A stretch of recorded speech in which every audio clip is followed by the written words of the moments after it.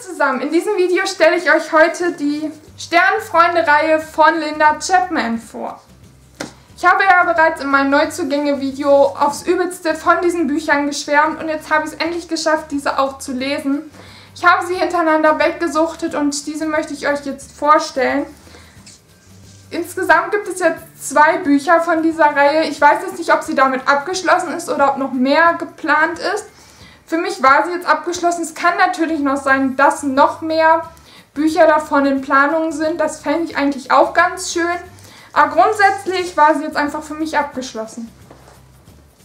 Ja, ich zeige sie euch nochmal. Sie sind wirklich so schön aufgemacht. Das finde ich bis heute einfach absolut toll. Nicht nur von außen, sondern was ich auch wirklich schön finde, ist, dass sie in, äh, so schön aufgemacht sind. Sie haben hier so Zeichnungen aber auch, ähm, wenn ich es finde, sie haben auch noch andere Illustrationen und ich finde, dass das beim Lesen wirklich immer sehr, sehr viel Spaß macht, vor allem, weil diese Bücher halt auch Kinderbücher sind. Ja, aber ich komme jetzt nochmal zum Anfang zurück und zwar ähm, ist dieser erste Band heißt Maya und der Zauberfuchs, ist im CBJ Verlag erschienen, kostet neu genauso wie der zweite Band 9,99 Euro, was ich eigentlich einen sehr fairen Preis finde. Und der zweite Band heißt Leonie und die Wildkatze. Halt auch aus dem CBJ Verlag und halt auch 9,99 Euro. Ja, jetzt würde ich sagen, bevor ich jetzt nachher zu meiner Meinung komme, erzähle ich euch nochmal ganz kurz was zum Inhalt. Und zwar geht es darum, dass in der Menschheit die Magie ein bisschen zu kurz kommt.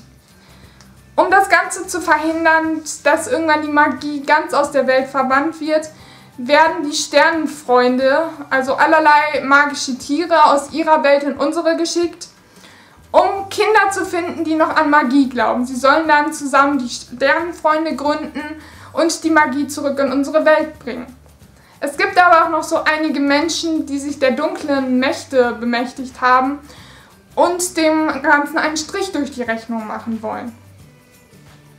Natürlich müssen unsere Sternenfreunde natürlich etwas dagegen unternehmen und nehmen es mit diesen dunklen Mächten auf. Ja, mehr will ich jetzt dazu gar nicht sagen, weil es auch sehr schwierig ist, da ich ja beide Bände jetzt vorstellen möchte. Ich muss sagen, dass ich wirklich ein Herz und eine Seele mit dieser Reihe war. Ich fand sie wirklich absolut bezaubernd.